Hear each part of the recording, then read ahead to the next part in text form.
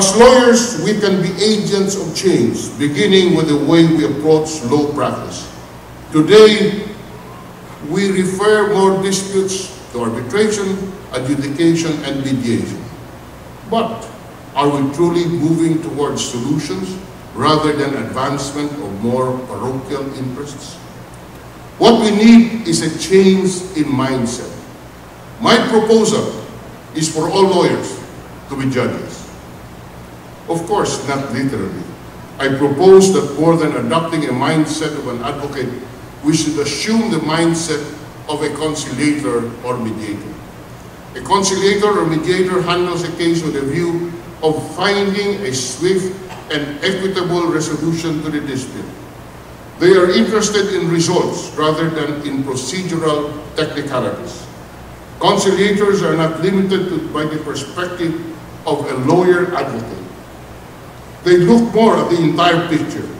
There, there is room to ask for what is just under the circumstances. Moreover, they know how to listen, whereas the traditional lawyer is more interested in arguing and in spotting the errors in the arguments of the opponents. The conciliator recognizes the value of understanding the points of both parties. Traditional lawyering, the traditional lawyer is interested in winning. The conciliator is interested in fulfilling the interest of the contending parties. My mindset then as a freshly minted lawyer in 1970 was that of a combatant. But when I joined government, was appointed Secretary of Labor during one of the most tumultuous periods in our industrial relations history, I had to change tack in resolving disputes. I was more focused in seeking solutions rather than proclaiming winners and losers. As Secretary of Justice and Executive Secretary, I adhered to the principle that the purpose of procedure is not to thwart justice, but rather to promote its administration. As Senate President and as a Senator, I am an arbitrator of sorts this role greatly broadened my understanding and allowed me to look at the problem from all angles. I have become more than just an advocate of winning, but an advocate of justice and the common good. It is about time that we consider changing the way our lawyers are trained. There may be merit to the proposition that law graduates should be required, or at least encouraged, to train in government positions that require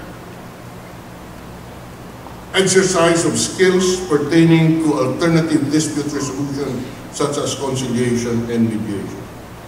Programs and courses in the Philippine Judicial Academy geared towards training lawyers to become judges may be refashioned and incorporated into law school curricula in order to give law students the perspective of a neutral third party in analyzing disputes. It is fitting that this change of heart begins with the UP College of Law. There is something about a graduate of the UP College of Law that bars us from separating ourselves from the concerns of the nation. We will always have a sense of duty to our country. There is almost an expectation that whenever UP lawyers gather, there will be a reference to the great words of Justice Oliver Wendell Holmes Jr., etched in the world walls of Malcolm, to teach law in the grand manner and to make great lawyers. In the end, what the study of law truly imparts is a method, a lifestyle, a habit, and eventually a deeply ingrained character. And this character should be one always hungry for excellence, grandness, if you will. But it should not be grand in scale and magnitude, but in impact. I recall the words of Margaret Thatcher herself, a distinguished lawyer, when she said, Watch your thoughts, for they become words. Watch your words, for they become actions. Watch your actions, for they become habits. Watch your habits, for they become your character. And watch your character, for it becomes your destiny.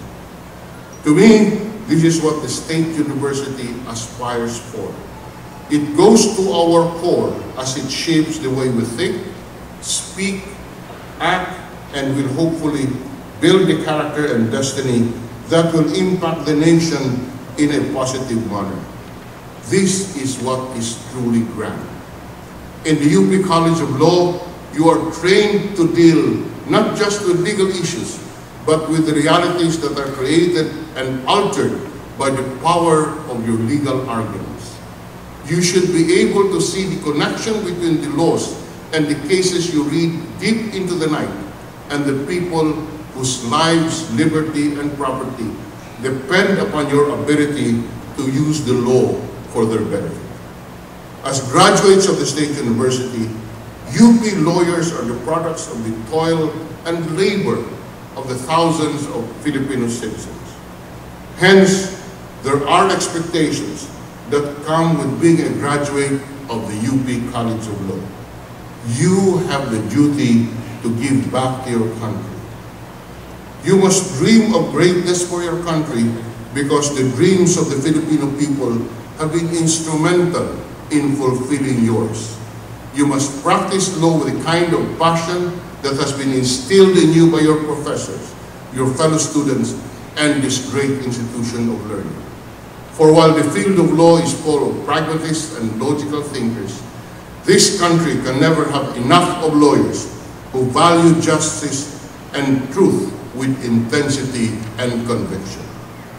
As UP lawyers, we must use our legal knowledge for something far greater than the protection of life, liberty, and property. Find something to believe in. Have convictions. Do not be contented with sitting on fences or staying in the middle ground. Search for truth. And once you have found your answers, hold on to them. Be willing to fight for them. There will come a time when having convictions will start to hurt. In a profession where truth is said to be flexible, it is difficult to be unwilling to compromise.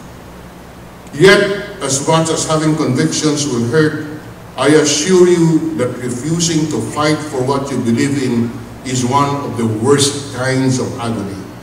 To borrow the words of Winston Churchill, never, never give in except the convictions of honor and good sense.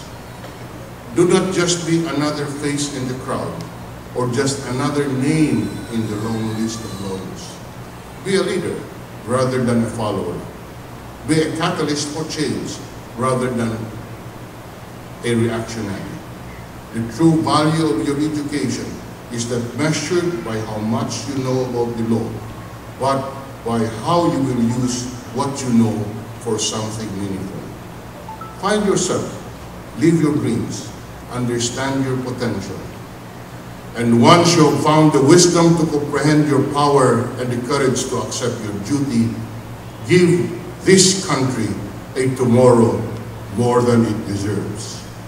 It is your inevitable path, not only because you're Filipinos, not only because you're lawyers, not only because you're Filipinos and lawyers, but also because you're graduates of the UP College of Law.